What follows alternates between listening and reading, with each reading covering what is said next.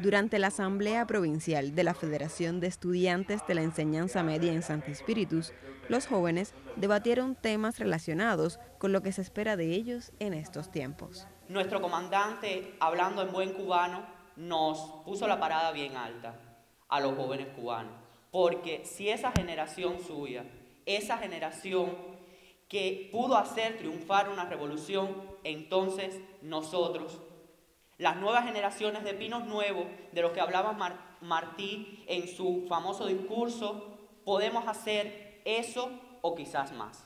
La incorporación de sus congéneres a la Unión de Jóvenes Comunistas fue otro de los temas tratados. Considero que también para poder motivar a los muchachos a que quieran pertenecer a la fila de la Unión de Jóvenes Comunistas, eh, el trabajo debe empezar desde secundaria básica. Creo que eh, como mínimo octavo, pero principalmente noveno grado. Ya eh, próximamente vayan a un pedagógico, vayan a un politécnico, a un preuniversitario, un IPBC.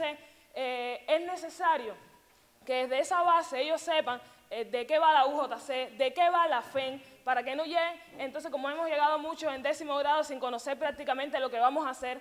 Las redes sociales y su impacto en las nuevas generaciones a nivel ideológico el trabajo que se debe realizar para contrarrestar este fenómeno, la incorporación de las mujeres al servicio militar y la prevención del embarazo en la adolescencia fueron otros asuntos de interés.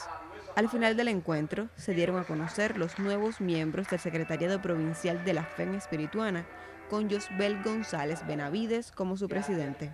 También fueron reconocidos aquellos jóvenes que se despiden de la organización luego de haber realizado en ella una labor destacada. Fue un reporte de Leisa Fritze Tapanés para el noticiario En Marcha.